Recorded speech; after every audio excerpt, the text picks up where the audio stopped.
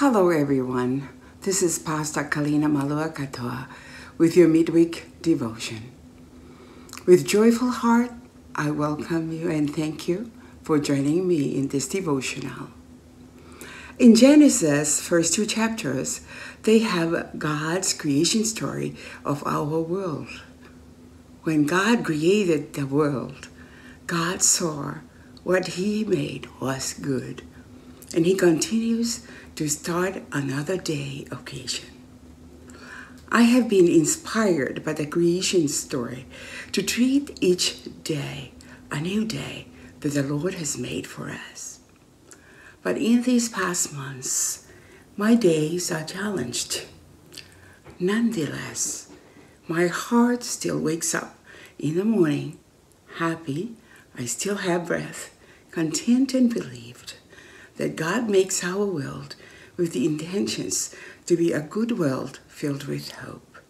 And I end my day with thanksgiving to God for His Spirit enduring the day with me to keep it sound despite the ill experiences I receive from the daily news of pandemic, racial injustices, social and political conflicts, wildfires, and the polluted air that I breathe.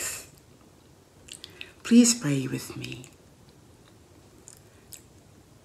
Father, most gracious, great Creator, we are so sorry that we have not been good stewards to your good creation.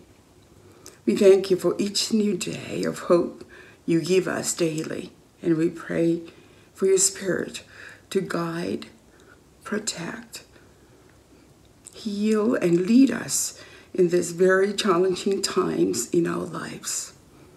In faith, we live our lives in the hope your Spirit is with us to sustain us through our day, so that at the end of the day, we celebrate the life you had so abundantly blessed us our families, our friends, and all the people of the world. Whether we live or die, we know you are with us all the way. In Jesus' name we pray. Amen. Now I want to wish you all have a great rest of the week.